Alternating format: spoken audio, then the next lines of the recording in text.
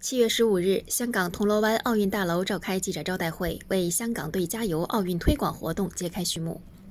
活动将于七月二十三日至八月八日东京奥运会举办期间，在香港为市民准备不同类型的运动体验，一同感受奥运气氛，同时为中国香港运动员打气。全国政协委员、中国香港体育协会暨奥林匹克委员会副会长霍启刚致辞时表示，在疫情下，今年不少香港市民只能透过电视观赏赛事，但仍希望与市民一同迎接奥运，为香港运动员打气。奥运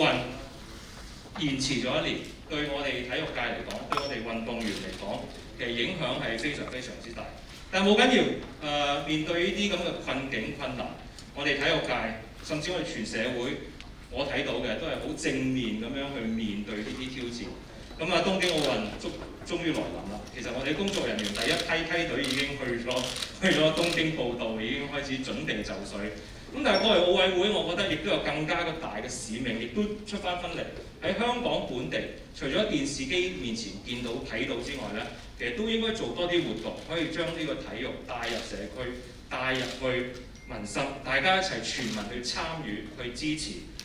我哋呢個香港隊嘅。霍启刚在接受中新社记者采访时表示，希望将来国家队、各省队以及香港队可以多一些交流，在场地、教练以及科研等方面实现互通。希望以后可以多合作。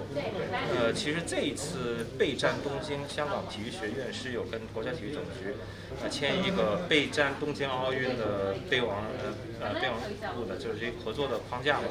我觉得以后在无论在场地训练、呃教练的资源，在科研方面，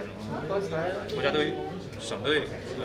港队都可以多多一些交流。我我知道，好像孙杨之前也经常来到体院去去去去封闭训练的，那这种合作很多的，我这个有助于运动员